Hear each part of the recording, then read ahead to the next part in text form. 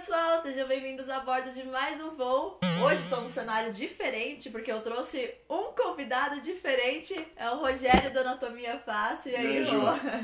Bem-vindo. Conta aí um é tá? pouquinho do seu canal.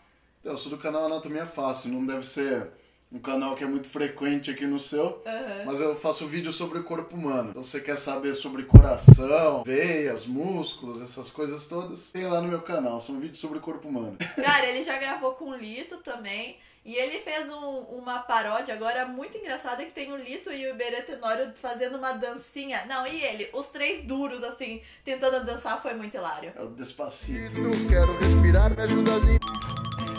Focito, venha proteger meu corpo dolorido. Para que eu acorde sem estar doído.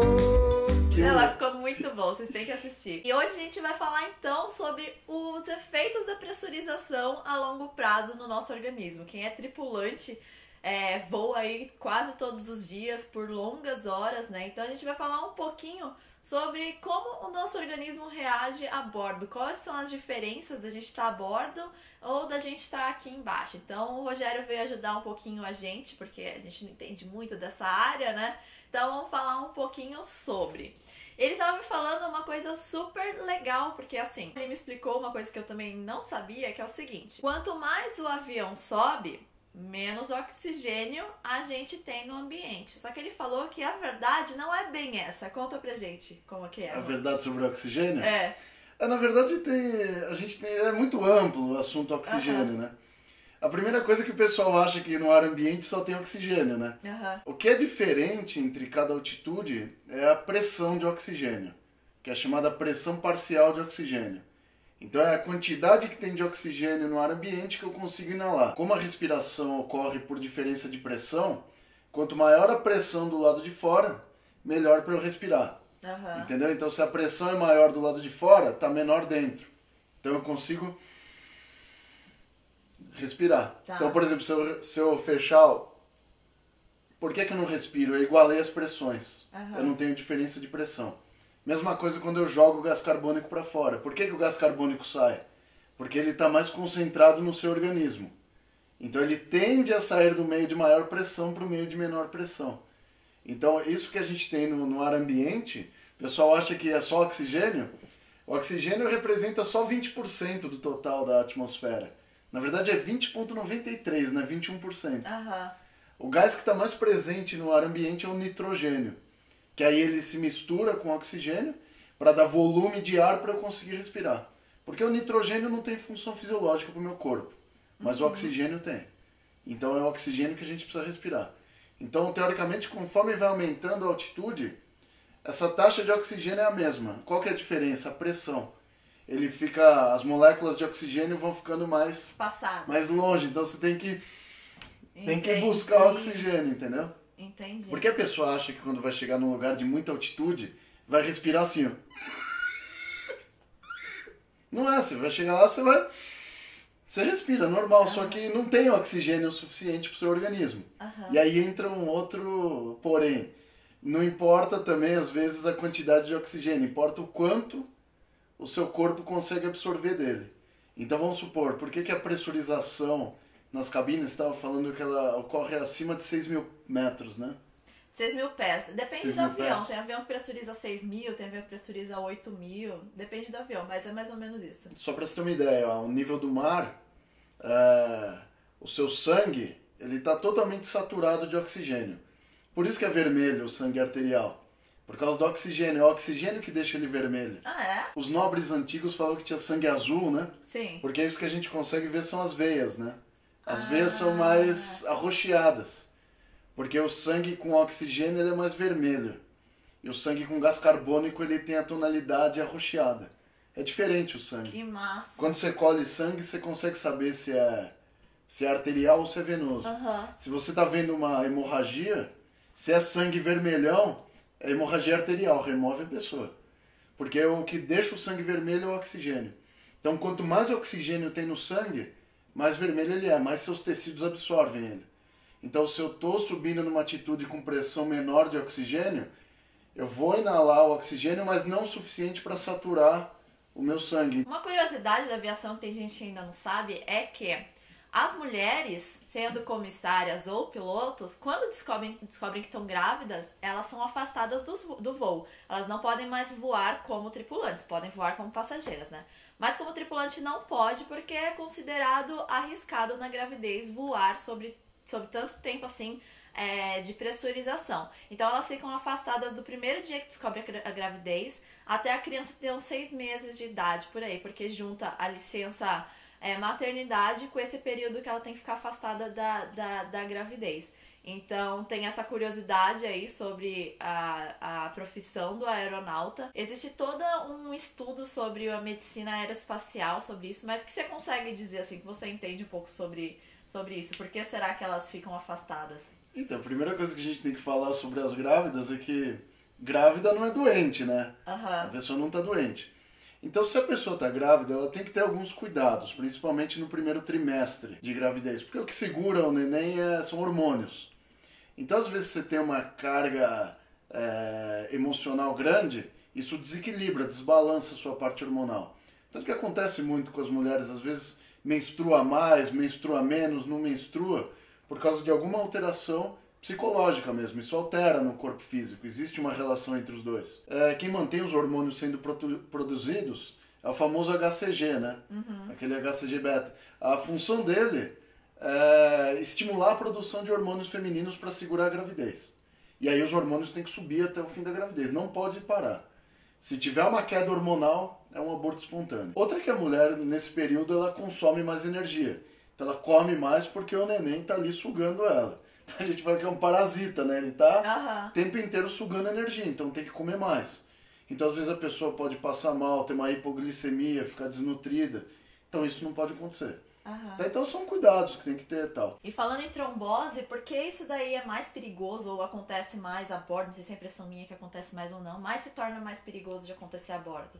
Então o problema mesmo são viagens de longa distância. Né? Ah. Eh, Se você viajar de carro por tempo prolongado, você vai ter trombose também. Da mesma forma. Porque assim, as veias da perna, elas têm que trazer o sangue de volta pro coração. Aí uma coisa que pode falar também da, da força G, que acontece também. Aham. Então a a gente tem uma grande quantidade de sangue nas pernas, esse sangue tem que voltar. Como que ele volta? Quando você anda, sua panturrilha esmaga as veias e promove retorno de sangue. Tanto que a gente tem três corações, Ju. Sabia Olha. disso? Três corações. Não sabia dessa? Três corações. Ah, isso aqui vale joinha no vídeo dela, hein? Você tem um coração. Cadê os outros dois? Cadê? Cadê? Eu nem sabia que eu tinha um. Você tem o central, que é o- a bomba Tá. central. E aí tem o coração periférico, que a gente chama, que é a panturrilha. Então o o Porque corpo é tão bombeia o sangue perfeito. também. É, então, o corpo é tão perfeito que as veias das pernas foram colocadas no meio dos músculos da panturrilha. Ah. Então toda vez que você anda, a panturrilha esmaga as veias e promove o retorno de sangue. Que faz a mesma coisa que um coração. O coração faz o movimento. Exatamente, é O movimento. um, é um bombeamento. Tá. Tanto que se você ficar muito tempo em pé, o que acontece? O sangue fica represado e o pé incha. E Aí por um isso também, quando tá sentado, corre mais risco de, Também, de trombose, porque quando- ele fica parado. Exatamente, quando você está em pé, o que acontece? A musculatura está contraída e aí o sangue não consegue voltar, ele fica represado no pé, aí dá edema no pé. Quando usa salto alto também, você tá com a panturrilha contraída, tende a inchar o pé porque não tem retorno venoso. Ah, disso a gente sabe bem, né, Ah, mulherada? essa vocês conhecem. E por que aquelas meias de alta pressão que a galera usa pra voar ajuda mais? Então, aquela, a meia de média compressão, ela fornece um retorno venoso. Ela faz o papel da panturrilha.